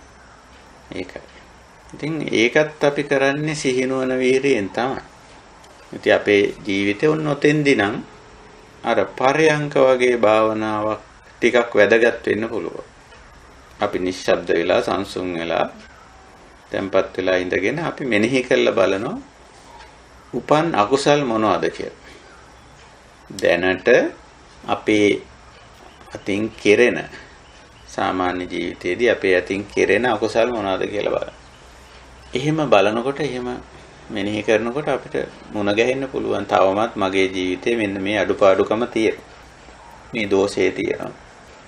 ඉතින් එතෙන්දී ඔන්න වායාම. චන්දං ජනේති වායමති විරියං ආරභති චිත්තං පග්ගන්හාති පදහති කියලා. ඒ වෑයම දිගටම කරගෙන යන්න. ඉතින් අන්නේ විදිහට සම්මා වායාම අපි මේ අවධානය කරා මේක කමඨහනක්. ක්‍රියාත්මක කළ යුතු දෙයක්. කොයි වෙලාවෙද? එදිනෙදා ජීවිතය තුල සාමාන්‍ය ජීවිතය තුල මේ විදිහට අකුසල පක්ෂයට අදාළව නූපන් අකුසලය නූපද වීමක්. ඒ කියන්නේ තමන් ජීවිතේට අලුතෙන් අකුසල් එකතු කරගන්නේ එකතු කර නොගන්න වෑයම් කරනවා. මොකද හේතුව අපි ඉන්නේ ආතුරයෝ මැද. ඉතින් ආතුරයන්ගේ මේවා තියෙනවා. අකුසල් තියෙනවා. අකුසලයට අපිට ආරාධනාත් කරනවා. අකුසලයේ සඳහා ආරාධනා හරියට. ඒවට තමයි ඔය ඉන්විටේෂන් ලැබෙන්නේ. ඒවට තමයි උනන්දු කරවන්නේ. උත්සාහවන්ත කරවන්නේ. කමක් නැහැ කියලා. ඉතින් මම මේ අපේ රටේ පළවෙන මේ විලඳ දැන්වීමක් මේ ඊයේ පෙරේද දැක්ක ඒකේ PX සහ දුවක් දෙදෙනෙක්ගේ පොඩි සංවාදයක් තියෙන. ඉතින් පියා කරන දේ මොකක් හරි දෙයකදී ඉතින් දරුවා කියනවා කමක් නැහැ තාත්තේ කවුරුත් දැක්කේ නැහනේ කියලා. ඒකට තාත්තා කියන්නේ වුණාට මම දැක්කනේ කියලා. ඕක තමයි පොඩි සංවාදයක් තියෙන්නේ. කවුරුත් දැක්කේ නැහැ කියලා කමක් නැහැ කියලා ඒව. ඒතන වරදට එක්තරා සාධාරණීකරණයක් කරන්න උත්සාහ කරනවා. ඒ තාත්තා කියන යුණාට මම දැක්කනේ. ඒක තමයි. එතනින් තමයි අපේ වෙනස තියෙන්නේ. අනිත් අය මේක දැක්කද නැද්ද? අනිත් අය මේකට ගරු සම්මාන සත්කාර කෙරුවද?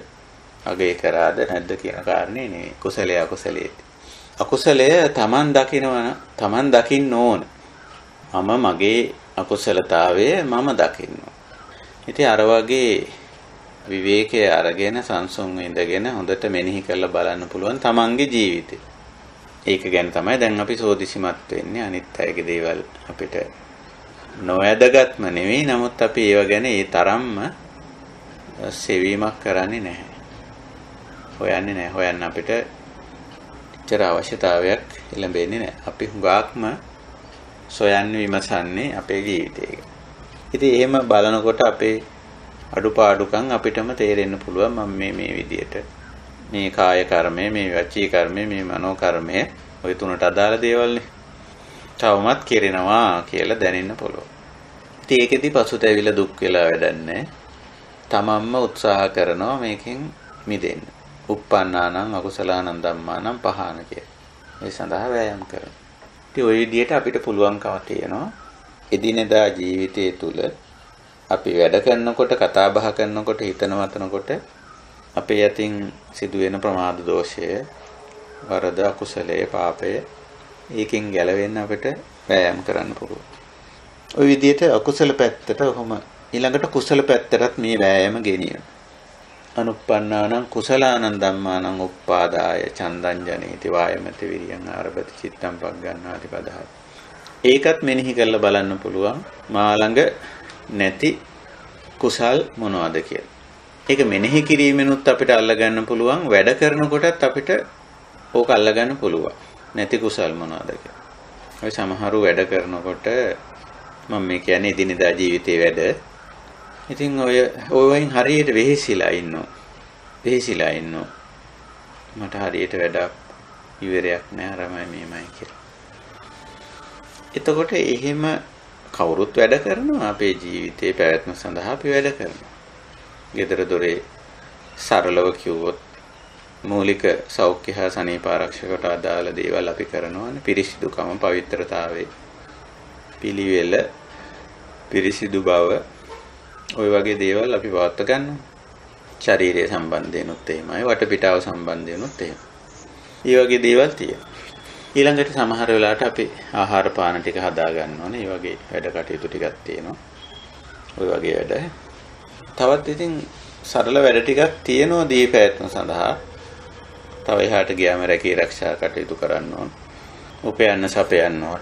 හේතුකම් ඔය වගේ වැඩ ටිකක් තියෙනවා සාමාන්‍ය හැබැයි ඕවයිදී වැඩ වැඩි කරගෙන මූණු නරක් කරගෙන කයින් මනසින් වෙහෙසිලා කොහොම කරන ස්වභාවයක් තියෙනවා. ඒකෙන් කියවෙන්නේ අදාළ කුසලතා වැඩිලා නැහැ කියන එක. අදාළ කුසලතාව වැඩිලා නැහැ කියන එකයි. නේ? දැන් සරල නිදර්ශන මම කියන්නම් සමහර වෙලාවට අපි වැඩක් කරන්න ගියාම ඔන්න දැන් ඊට අදාළ දේ හොයනු. කෝ මේක නෑ දැන් මේ වැඩේ කරගන්න විදියක් නෑ කෝ මේක තිබ්බ නෑනේ. ඒ විදියට. ඉතින් සමහර වෙලාවට අපිම තමයි ඒක අරගෙන මමමයි ඒක අරගෙන මම ඒක වෙන තැනක තියලා. තිබ්බා මොකද වෙන්නේ? ඉතින් මම්ම අවුල් වෙලා දැන් මේ අපි ළඟ ඒ කුසලතාව නැහැ. අපිම පුරුදු වෙන්න ඕන.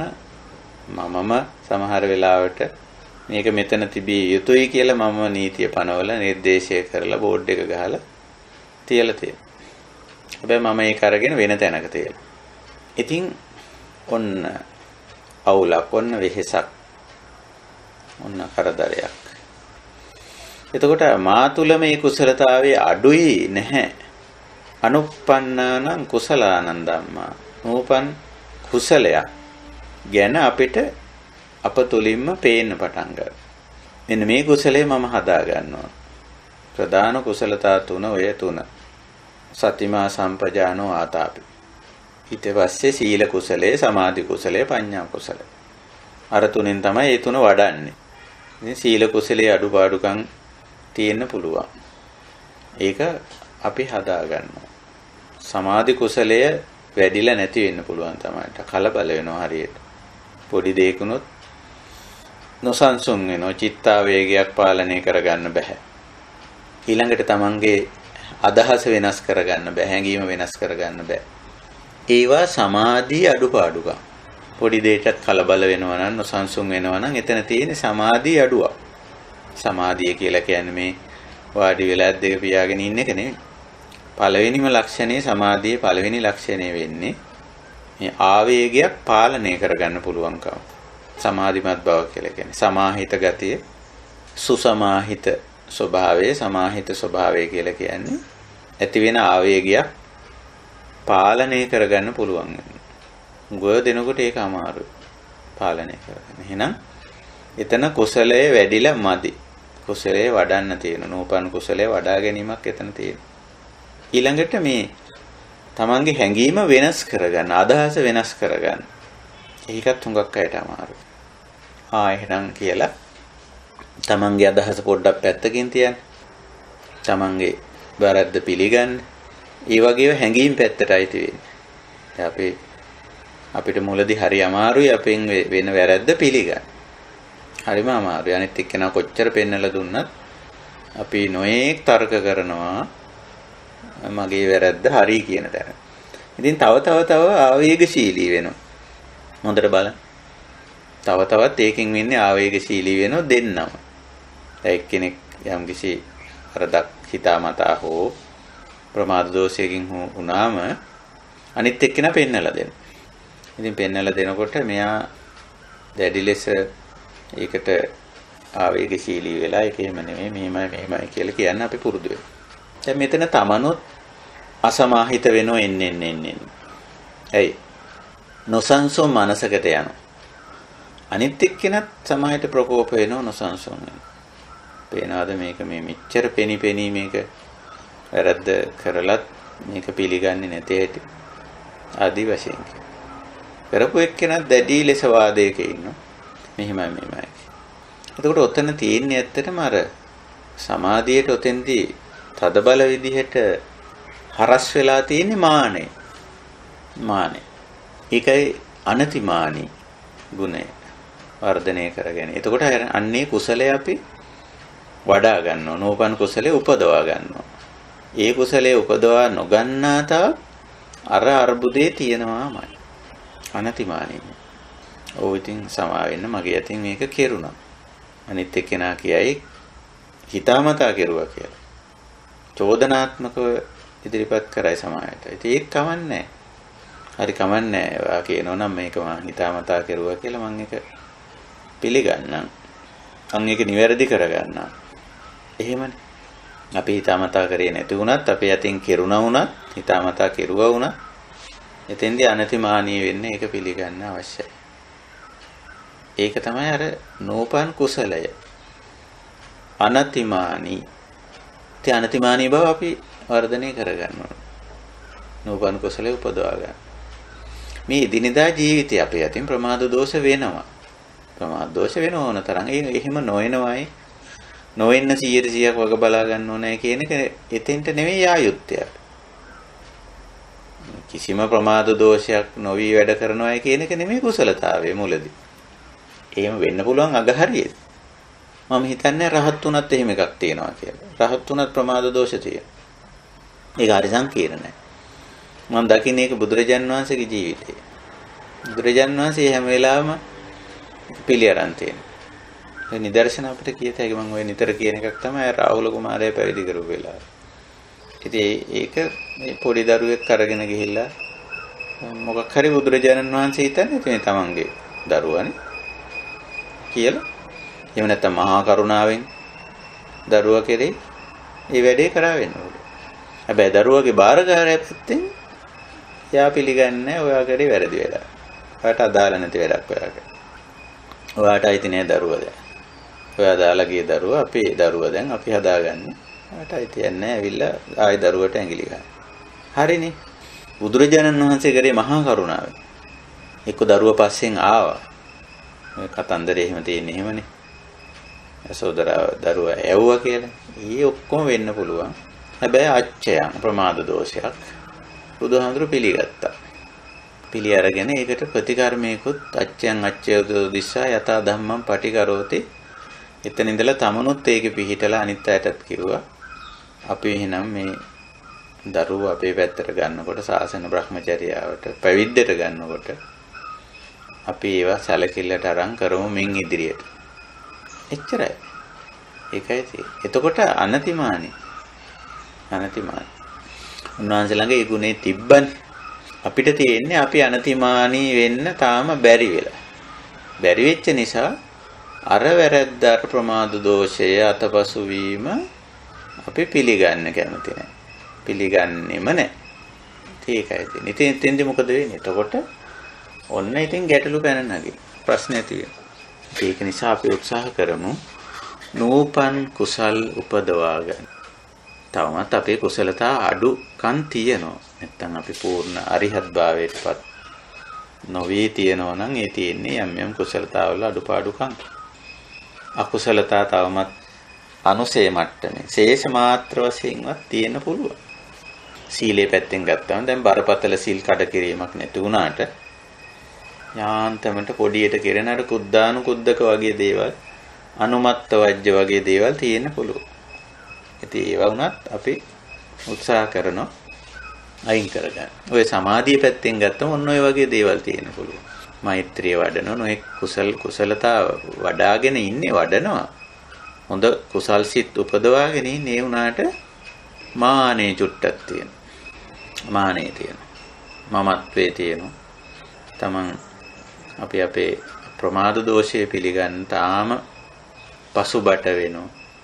ඒකයි තියෙන්නේ. ඒක කවුරු ඉදිරියේ වුණත් කමන්නේ. ඔක පිළිගන්න. කවුරු ඉදිරියේ වුණත් කමන්නේ. පොඩි ළමෙක් කිව්වත් ඒක පිළිගන්න. සමහර අය අපි දැකලා තියෙනවා මේ තමන්ගේ දරුවෝ මොනපුරු මිනිපිරියාදීන් වැරද්දක් පෙන්නලා දුන්නා ඕක බාර ගන්න කැමති නැහැ. එහෙම කැමති නැහැ. ඒ අඩුපාඩුවක් පෙන්නපුවා මේක පිළිගන්න. කවුරු පෙන්නුවත් අඩුපාඩුව නම් අඩුපාඩුවනේ. පැවිදි අයගේ ලක්ෂණයක් තියෙනවා ගිහි කෙනෙක් වැරද්දක් පෙන්නුවොත් පිළිගන්න කැමති නැහැ. ඊට පස්සේ කොන්දේසියකුත් දාගෙන තියෙනවා මේ ගිහි අය පැවිදි ඇත්තන්ගේ වැරදි පෙන්වන්න වැරදි කියලා දෙන්න හොඳ නැහැ කියලා. එහෙම එකක් බුද්ධ ශාසනයේ නැහැ අපි දන්න විදියට. කල්යාණ මිත්‍රයා ගිහිද පැවිදිද කියන අදාළ අදාළ දෙයක් අදාළ වෙන්නේ කල්යාණ මිත්‍රයා කල්යාණ මිත්‍රයාමයි. වැරද්ද පෙන්නලා දෙන පුද්ගලයා හඳුන්වලා තියෙන බුදුරජාන් වහන්සේ නිදීනං පවත්තාරං කියලා. නිදානයක් පෙන්නන කෙනා. එතකොට අපිට නිදානයක් පෙන්නන කෙනා පැවිදිද ගිහිද කියලා අදාළ වෙන්නේ අපිට නිදාන පෙන්වන්න ඕන පැවිදි අය විතරයි. ගිහි අය නිදාන පෙන්වන්න ඕනේ නැහැ කියලා. එහෙම එකක් නැහැ. කවුරු හොඳ දෙයක් දුන්නත් අපි බාර ගන්නවානේ. නේ? එහෙමනම් අපේ ජීවිතේ අපිට මොනවා හරි අපේ අතින් වෙන ප්‍රමාද දෝෂයක් පෙන්වා දීම කවුරු කිව්වා ඒක බාර ගන්න. සමහර ඉහළ නිලධාරීන්ට තමන්ගේ පහළ නිලධාරිය වැරද්දක් පෙන්නලා දුන්නාම ඒක බාර ගන්න බෑ. ඒකට හරියට කේන්ති යනවා. තමසේනවද මට මේවා කියලා දෙන්නේ. ඉතින් කවදාවත් මේ මිනිස්සු අධ්‍යාත්මිකව දියුණු වෙන්නේ නැහැ. එලයන්නේ නිලධාරියෙක් හැටියට ඉතින් රෙස්පෙක්ට් තියාගෙන රැස් විහිදවගෙන ඉඳී. උනාට මේ මේ පැත්තේ නම් දියුණුවක් වෙන්නේ කවදාවත්. මේ පැත්තේදී හැරම තමයි. ඒ ඒ නෝපන් කුසලයේ අපි උපදවා ගන්නවා. කවුරු කියලා කවුරු පෙන්වලා දුන්නත් ඒක බාර. මම ওই නිදර්ශනයක් කිව්වා.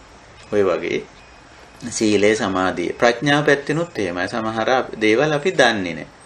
ඇත්තටම දන්නේ නැහැ. ඒක දන්න කෙනා මේක කියලා දෙනවා. කියලා දුන්නම ඉතින් බාර ගන්න ඕන ඇත්ත. ඒක මම දැනගෙන හිටියේ නෑ. මම දන්නේ නැති කාරණයක්. ඒකයි. එහෙම නැත්නම් සමහරු කියනවා ඔයා මට කියලා දෙන්න ඕනේ නෑ මම දන්නවා. එහෙම නෙමෙයි අනිත් එක්කෙනා කියන එක සාවධානව යොමුකන් දෙන්න. සමහරට ඒ තැනත්ත කියන්නේ මම නොදන්න කාරණයක්. නොයටෙන කාරණා මේ ලෞකික විෂයන් වල උනත් එහෙම තියෙනවනේ කොච්චරනම් අපි නොදන්න කාරණා තියෙනවද බලන්න. ඉතින් ඒකට සාවධාන වෙනවා අපි. එතකොට එතකොට අපිට දැනුම එකතු වෙනවා ප්‍රඥාව එකතු වෙනවා. හොඳක් නරකක් ගැන හොඳ නරක ගැන ප්‍රධාන වශයෙන් අපේ ප්‍රඥාවේදී අදහස් වෙන්නේ කුසලයේ අකුසලයේ ගැන යහපත අයහපත ගැන කළ යුත්ත නොකළ යුත්ත ගැන. ඔය ඔය අනුශාසනාව පිටින් අපිට ලැබෙන අවස්ථාවක ඒක කරන්නේ කවුරුණත් කමන්නේ. කවුරුණත් කමන්නේ. මට මේ ඊයේ මාත් එක්ක කතා කර යෝගියෙක් එයා මට කිව්වා මේ ඉගෙන ගන්න කාලේ යාට උගන්න ඉගෙනුවේ එයා බෞද්ධ වුණාට වෙනත් ආගමික ගුරුවරයෙක්. කින් තමයි එයා ඉගෙන ගත්තේ. එයා ගිය පාසල. කතෝලික පාසලක් නිසා. හැබැයි ඒ උගන්වපු දේවල් හරි. ඒ ගුරුවරයෙක් කවදාත් වැරදියක් උගන්වන්නේ නැහැ. ඉතින් නිදර්ශනත් කිව්වා. තායිනාත මේ මේ මේ දේවල් මගේ කතෝලික ගුරුවරයා මෙහෙම ඉගැන්වුවා. ඉතින් බුදුදහමට අනුව ගලපලා බලපුවම හරියටම හරි ඒවා. ඒකට අර උගන්වපු පුද්ගලයා කතෝලික දහම කෙනෙක් කියලා එහෙම සම්මතයක් එහෙම තියෙනෝනේ සමහර. ඉතින් ඒක අපට අදාළ නැහැ. අදාළ නැහැ මේ කියන දේ හරි දේ. නිවැරදි දේ යහපත් දේ හොඳ දේ. කළ යුත්තේ. මේ ධ්‍යාන්සේ කවුරු හරි පෙන්නලා දෙනෝ නම් අපි ඒක බාර ගන්නවා. අපි දන්නේ නැත්නම් ඒක. එතකොට අපේ ප්‍රඥා කුසලයේ වැඩෙනවා. ඒකයි තියෙන උපන් කුසලයේ උපදවා ගැනීම.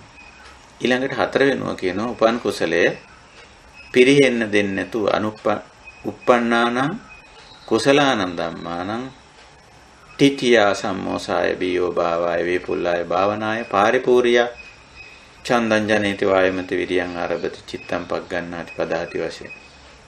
පන් කුසලයේ දැනටමත් අපි ළඟ තියෙන කුසලතා ටික තියෙනවා. සීල කුසලයේ තියෙනවනේ. උගාක් අපි ඒක දිනු කරගෙන තියෙනවා. සමාධිය දියුණු කරගෙන තියෙන දැන් වැඩි කලබල වෙන අය නෙමෙයි. අකුසල් සිතුවිල්ලක් ආවත් ඒක දකින්න පුළුවන්, දැක ගන්න පුළුවන්, පාලනය කරගන්න පුළුවන්, ඒක දුරු කරගන්න පුළුවන්. ඒ තමයි සමාධිය වැඩිච්ච කෙනෙක්ගේ ලක්ෂණය. හිත පාලනය කරගන්න පුළුවන්. සමාහිත ලක්ෂණය. ප්‍රඥාවත් අපි දියුණු කරගෙන තියෙන අපි දැන් හොඳ නරක පින බව කුසලයේ අකුසලයේ ආභි සමාචාරික කොටස දාන්න. ආදි බ්‍රහ්මචාරිය කොටස දාන්න.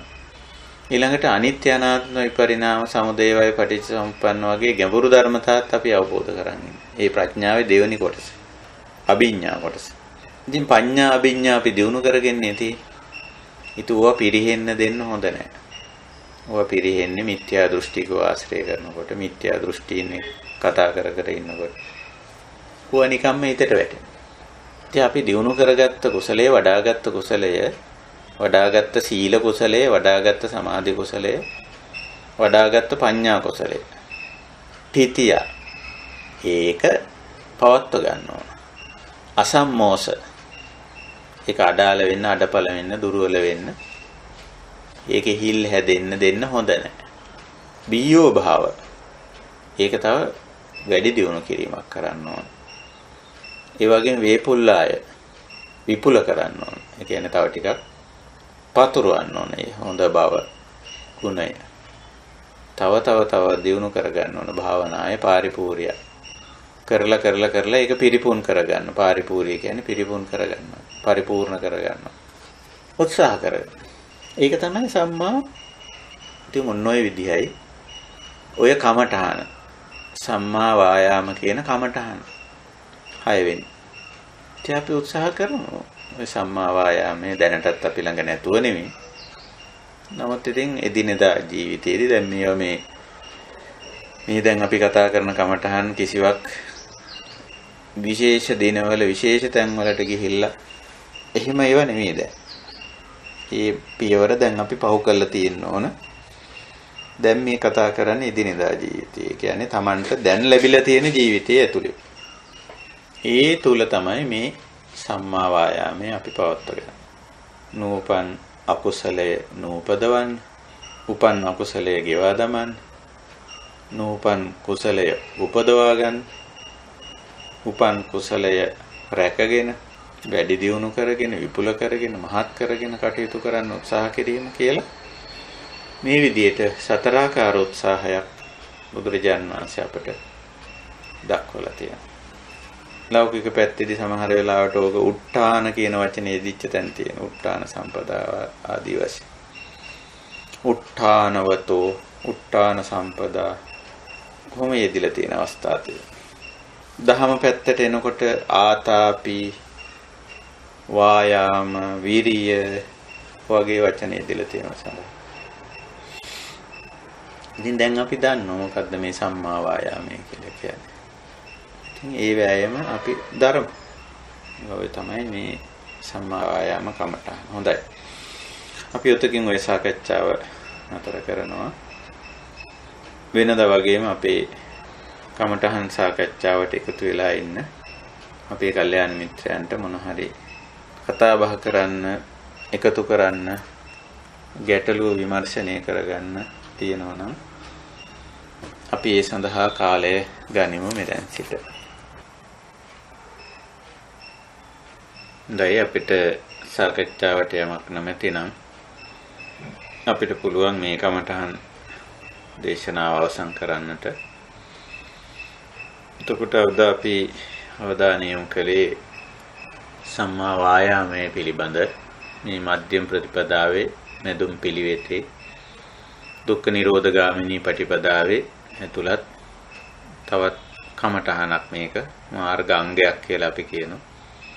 ඒක අපි තේරුම් ගැනීම දැනටමත් මම හිතන්නේ තියෙනවා සෑහෙන ප්‍රමාණ වලින්. මේක ක්‍රියාත්මක කර ගැනීමේදී තමයි අපි යම් යම් දුෂ්කරතාවලටපත් වෙන්නේ. එක් පැත්තකින් නූපන් අකුසලයක් නූපද වීමට නූපන් කුසලයක් ඉපදවීමට අපි කටයුතු කිරීම. ඊළඟට උපන් කුසලයේ සහ උපන් අකුසලයේ දෙක සම්බන්ධයෙන්. උපන් අකුසලයේ ගෙවා දැමීමට දරන උත්සාහය උපන් කුසලයේ රැක ගැනීමට දරන උත්සාහය මේ විදිහට ඉතින් සාමාන්‍ය ජීවිතයේ තුල එදිනෙදා ජීවිතයේ තුල තමයි අපි මේ කාර්ය මේ විදිහට කරගෙන යන්නේ හොඳයි මම හිතනවා එහෙමනම් අදට අපේ කමඨහන් සාකච්ඡාව නිමා කරමු. ඉතින් කමඨහන් පැහැදිලි කිරීම අපි කවුරු කාටත් කොයි වෙලාවෙ කරගන්න පුළුවන් කරගත යුතු දෙයක් ඒක. කළ යුත්ත නොකළ යුත්ත නිවන් මාර්ගට අදාළව කළ යුත්ත නොකළ යුත්ත පැහැදිලි කර ගැනීමයි මේ කමඨහන් සාකච්ඡා භාවනා පුහුණුවේදී අපි කරන්නේ. ඒ පැහැදිලි කරගත්ත කමඨහන් පුරුදු පුහුණු කරගත්ත කමඨහන් ඒවා වඩා වර්ධනය කර ගැනීම ඊට අනුගතව කටයුතු කිරීම ඒක තරමක් දුෂ්කර කාර්යයක් වෙන්න පුළුවන්. හැබැයි ඒක කළ යුතුයමයි. මේ සම්මා වායාමයේ විරිය සම්පොජ්ජංගය ආතාපිය ගුණය අපි තුල තියෙන්න ඕන නැත්නම් මේ ගමන ඉස්සරහට යන්නේ නැහැ. ඒකයි. දැනට අපේ වෑයම උත්සාහය වීරිය තියෙනවා. හුඟක් ලෞකික පැත්තට තියෙනවා.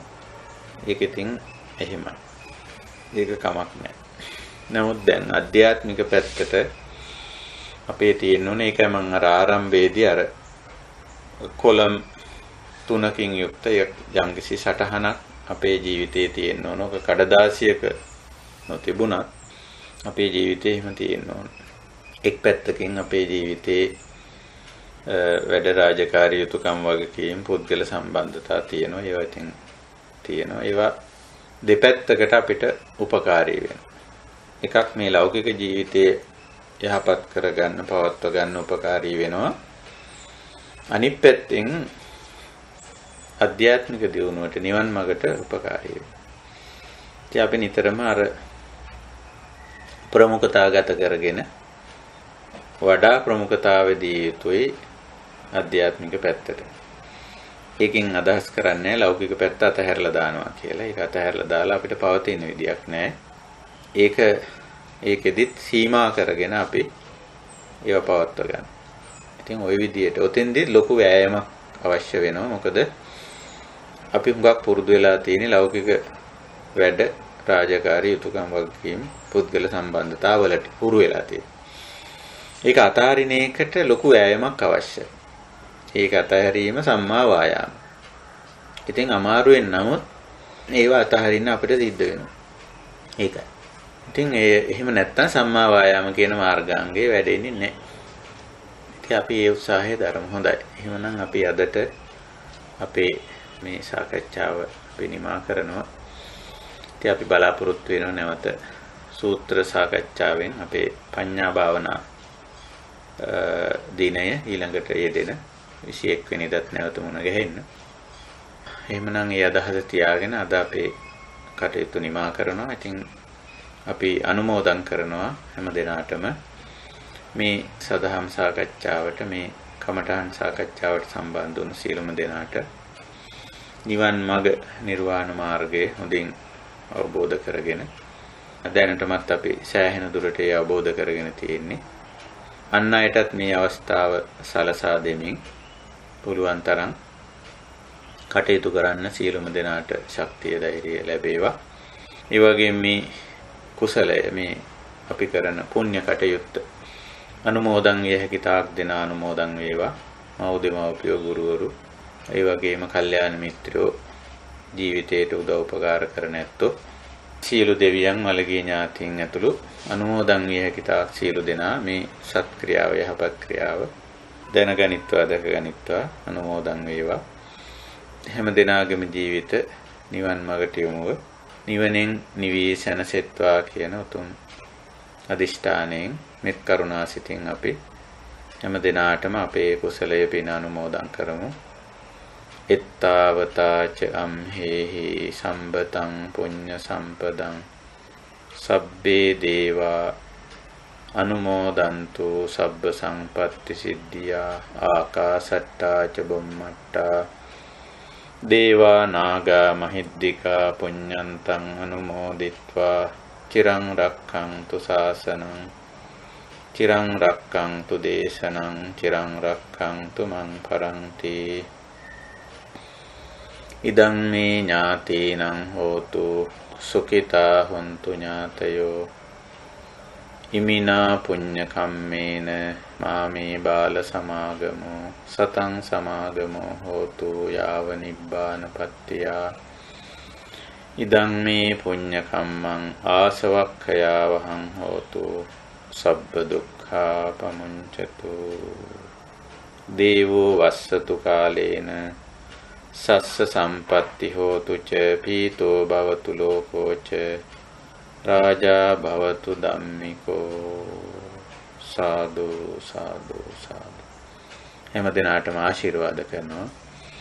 බුද්ධ ධම්ම සංඝ තුනුරුවන්ගේ අප්‍රමාණ ගුණ බලයෙන්ද අප මේ පුරන්නා වූ සීල සමාධි ප්‍රඥා ආදී උතුම් කුසල ශක්තියින්ද පින්වත් ඔබ හැම දිනාටම සිතක් වේවා ශාන්තියක් වේවා යහපතක්ම වේවා. මේ අපි තේරුම් ගන්න කමටහන් හොඳින් අවබෝධ කරගෙන උපරිම උත්සාහයෙන් කමටහන් වඩාගෙන සීල සමාධි ප්‍රඥා ගුණ පුරාගෙන මේ ජීවිතයේදීම නිර්වාණ ධර්මයේ සාක්ෂාත් කරන්නට හැම දිනාටම ශක්තිය ධෛර්ය වාසනාව උදා වේවා.